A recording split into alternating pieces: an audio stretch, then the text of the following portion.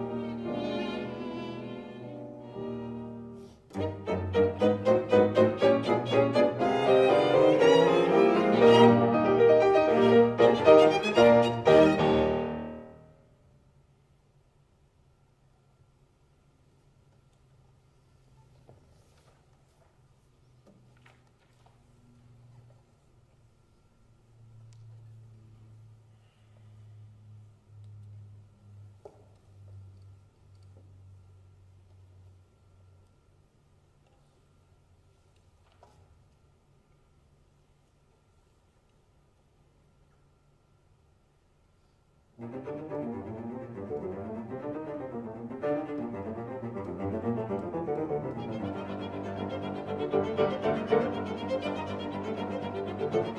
you.